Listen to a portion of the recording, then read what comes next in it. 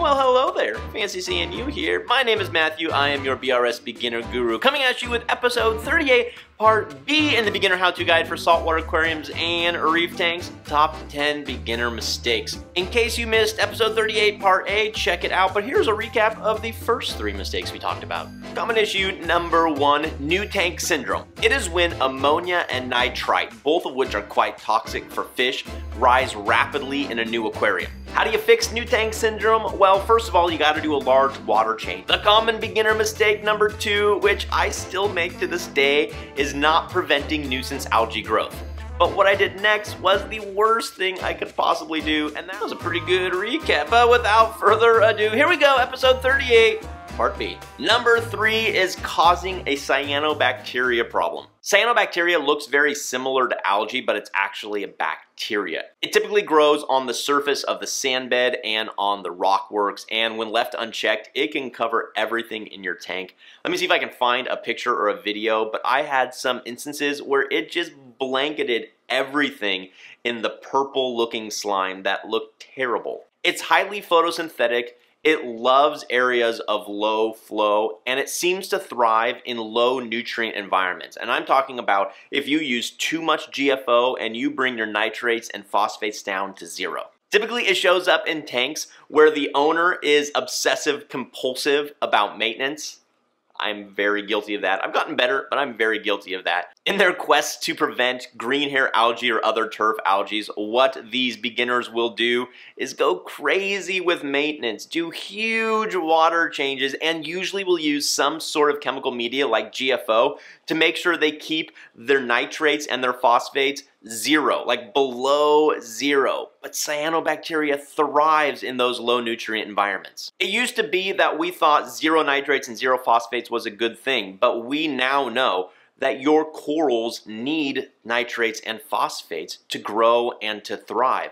So keeping zero nitrates and zero phosphates is a terrible idea. In fact, I shoot to keep my nitrate levels somewhere between 3 and 5 parts per million and my phosphate levels somewhere between 0.05 and 0.15 parts per million. So with any new tank, you're really walking this tight rope between too little nutrients, which can cause cyanobacteria outbreak, and too many nutrients, which can lead to green hair algae. It's a fine line to tread, but if you test frequently, you'll be able to get on top of the problems before they spiral out of control. There are chemical treatments for cyanobacteria. I've used ChemiClean many times in the past, and it does work well, a ChemiClean is an antibiotic, so it has the potential to kill off some beneficial bacteria in your tank. The problem I've noticed with ChemiClean, if I rely on ChemiClean too much, I can eventually get a dinoflagellate outbreak, which is way, way worse, but that's a conversation for another day. So then what's the best way to prevent cyanobacteria from ever showing up in your tank? Number one is having a good flow rate throughout your entire tank, making sure there are no dead spots anywhere, and also being sure you test frequently and that your nitrates and your phosphate levels are at least detectable, certainly not at zero. If you do end up getting cyano, which you probably will, I've gotten cyano in probably all of my tanks at one point or another, I found the best way to get rid of it if you don't want to rely on antibiotics like ChemiClean is just increase your flow in the areas that it's growing, do some sort of manual removal using a gravel vacuum every single day, and increase your nitrate and phosphate levels. Usually if I do all three of these things, I can get rid of cyanobacteria probably in about a month. Beginner mistake number four is not planning for fish aggression. Most fish are at least somewhat territorial, and in a small home aquarium, they're going to protect their space to some degree. Some fish start out relatively peaceful, but over time may develop more territorial tendencies. There are a plethora of ways to deal with fish aggressivity, from choosing the right fish to begin with, learning when best to introduce a new fish, creating more hiding spaces, and feeding more. For example, let's say you want to add a semi-aggressive fish like a six-line wrasse. If you do any sort of research, you're going to find some people who absolutely love six-line wrasses and who have them and they live peacefully with the other fish. And then you're going to find examples of people who think they are the devil in beautiful purple stripes because they go after everyone. But I love my six-line wrasse and my six-line wrasse is actually really peaceful. But the trick for a six-line wrasse and for other aggressive fish is you need to add them last to your tank. Whenever you're adding fish to your tank, you should always add the most peaceful fish first and the most aggressive fish last. Because what ends up happening, if you add a six line wrasse first to your tank, he or she is going to think the entire tank is his or her territory and then is going to defend it a lot when you add any other sort of fish. But if you add more peaceful fish first and they're able to find their own area and their territory, then you add the six line wrasse at the very end, the six line wrasse already knows that this territory is for these other fish and tends to leave them alone more. Let's say you followed our stock list from episode 31B and everything goes fine for the first few weeks, but then let's say you start to notice some aggressive behavior and some nipped fins. What do you do now?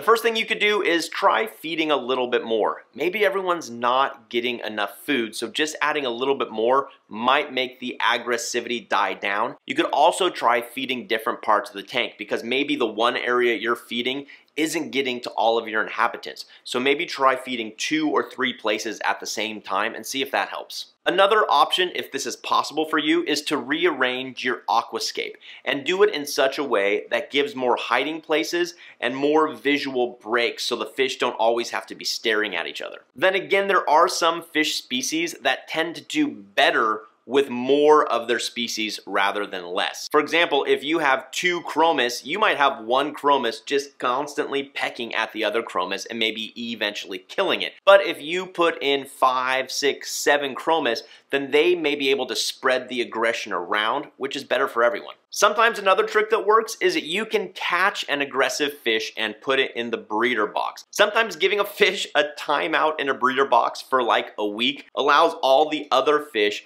to reassert their authority over the aquascape, and then when you release that aggressive fish back, things can even out. It doesn't work all the time, but it does work sometimes. But if all else fails, and sometimes it just does, then you're gonna have to remove the aggressive fish and find a new home for it. Oftentimes, your local fish store is more than happy to take that fish back, or you can find a friend or local aquarium club that will take it for you. Number five, not knowing how to treat fish disease. When I started out in the hobby, I really tried to become a fish doctor. I learned everything I could about bacterial, viral, and fungal infections and diseases. I knew the difference between gram-positive, gram-negative, and broad-spectrum antibiotics, and I knew which one to use to treat which disease. I could theoretically tell you if a fish had ick, velvet, or Brooklynella, and which treatment would work best for each. Then I bought a whole bin of medications, including some dangerous ones like formaldehyde, which I have long since gotten rid of, safely of course. I've had some success in treating sick fish in the past,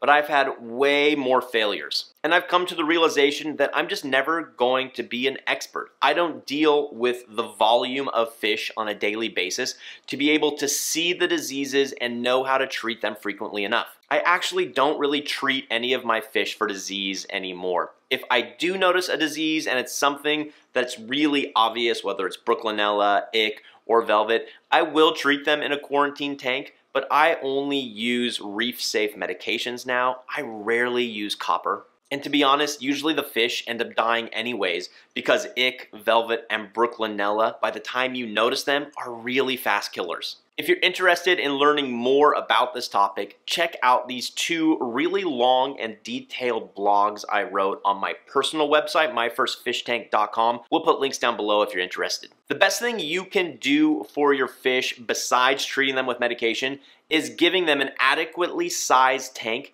and a stress-free environment because a fish that is stress-free is usually a healthy and happy fish. But if and when you do notice a sick fish in your display tank, my recommendation would be to remove them as quickly as possible and put them in some sort of hospital quarantine tank. Even if you don't treat them in the tank, it will be less likely that they will be able to infect the other members. It'll also be helpful to learn the basics for fish disease because you will know the difference about when to panic because your fish is in imminent threat of death and when to just sit back and see what happens. One good example of this would be fungal infections. They seem to show up in fish from time to time and I've had clownfish that get them. Oftentimes they look like some sort of white cottony growth near the gills or on the body. And the first time I saw it, I panicked.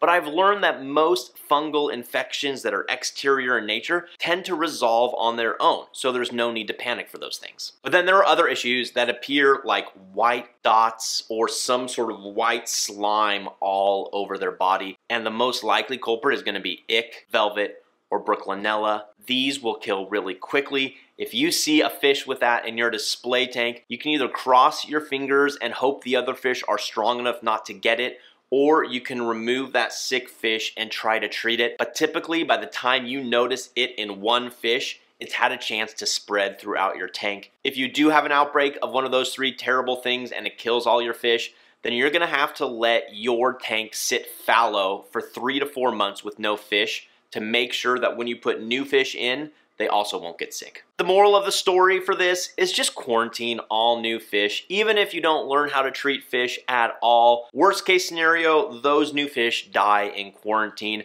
But on the bright side, those new fish won't bring disease to all of your other fish. There is nothing worse than having a thriving tank and thinking, I'm just gonna add one more fish. That one brings ick, velvet, or brooklynella to the tank, and now you have a tank with no fish. Okay, I'm gonna make a promise to you guys. That was way too long. We took two whole videos to sum up the first five of the common beginner mistakes, but we're only gonna do one more video, episode 38, part C, and I promise, I promise we will do the remaining five. As always, everyone, thanks for watching. Happy reefing, be well. We'll see you next time.